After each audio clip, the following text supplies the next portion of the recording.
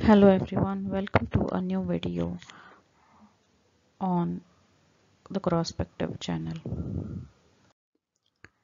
This video is from the What is series.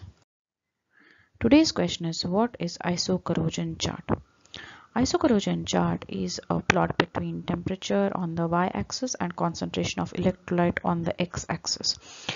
Here you have lines depicting similar corrosion rates, which means that if you have a concentration at about 70 and if you have a concentration at around 80 at this temperature and 7, uh, 70 at this temperature and 80 at this temperature they will still have about 20 to 50 mpy of corrosion rate it also helps in using the isocorrosion chart for application. So when you know that the application is going to have a certain temperature and concentration you can estimate what the approximate corrosion rate is going to be.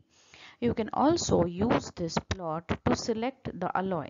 So when you know that an application has a particular rate of a particular temperature range and a particular concentration of electrolyte you can say that that particular alloy will have uh, about 5 to 10 mpy so the corrosion allowance and the design of the alloy should be according to this corrosion rate in short, isocorrosion chart is a plot depicting the parameter combinations of temperature and uh, concentration where similar corrosion rates are found.